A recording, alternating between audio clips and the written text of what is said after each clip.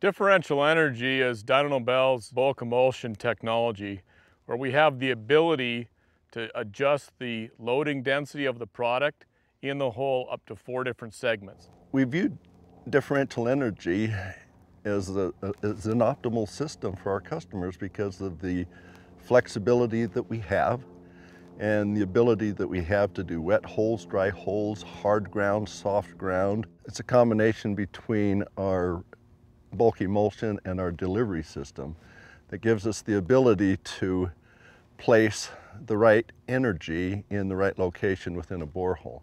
The energy that we generate is associated with the detonation pressure and velocity of the explosives going off.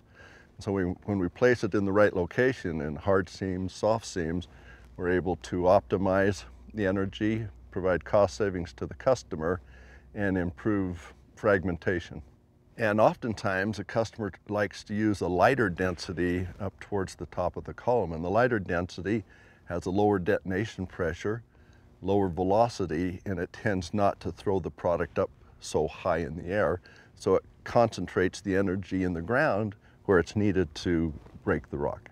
So with that flexibility of high density, low density, we can customize it very specifically to the ore type that our customers have, whether you're quarry, whether you're mining.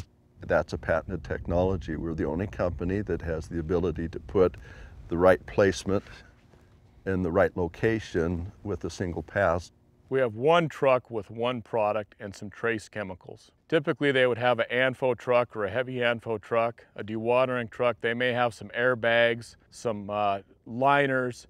So with one truck and trace chemicals, we can simplify the blasting cost. And we're able to make modifications on the blast bench for each particular hole to meet the needs for blasting that rock. And with the ability that we have to alter that density, at the end of the hose, again, which is a patented technology, we stand out far and above what our competition is capable of doing. That allows us to modify the pounds per loaded foot in the hole as we're loading that particular blast hole. We've spent millions of dollars as a company in research and development in developing a, an emulsion that has the ability to develop the droplet size we need to give us the optimum detonation.